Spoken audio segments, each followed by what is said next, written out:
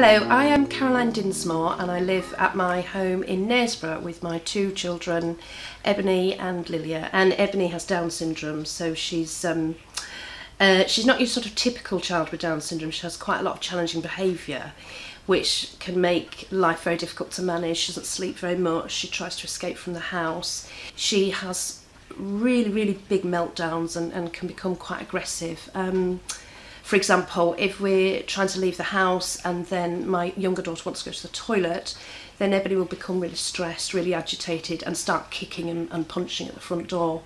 Um, so much so that she actually broke the, broke the previous door, and it was a real struggle to, to try and work out how can I afford to, to get a new door. The door actually was at a point where I, I couldn't use it, I couldn't lock it, I couldn't unlock it. Uh, and we were having to go out the back door and, and go all the way through the garden and, and round to the, the car at the front. Security was a real issue. I wanted windows that I could shut, I could lock, that were warm, that weren't weren't getting overgrown with mould. You know, so security and health um, were, were really important, so that my children felt safe in their own home. Well, when I first saw the advert Help to Buy Windows on, on Facebook and I clicked on it and clicked on the various links to find out whether I was eligible or not, I mean, I really didn't think it was, I thought it was just a spam advert. I just thought they were trying to con me, really. Um, and, and somehow manipulate me into into buying a product and I was absolutely amazed when Help to Buy Windows is a genuine um, service that, that helps people like myself. They really are genuine. This this is the real deal, and I'm just amazed that it wasn't a con. They weren't trying to to rip me off or anything like that. I've got completely new windows and a brand new door through Help to Buy Windows at no cost to myself, and I'm, I'm I just can't believe it.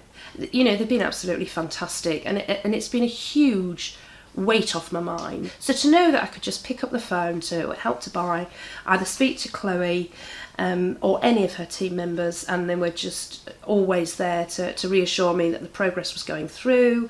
It won't be long. You know, I couldn't I couldn't rate them more highly. I could feel an instant difference this winter.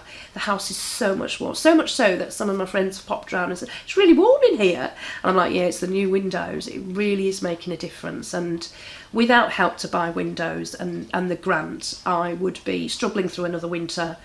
Uh, worrying about Ebony opening the windows, escaping, worrying about the neighbours opening the windows and, and, and shouting at my kids through the windows, and not being able to use the front door. Um, it's been a huge, huge help.